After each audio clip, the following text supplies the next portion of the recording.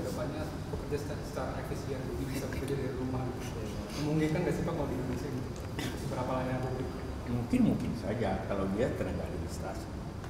Tapi kita sekarang ingin mengurangi justru pekerjaan administrasi karena sudah eh, langsung eh, tapi namanya juga pemerintah ada kadang tinggal disiplinnya.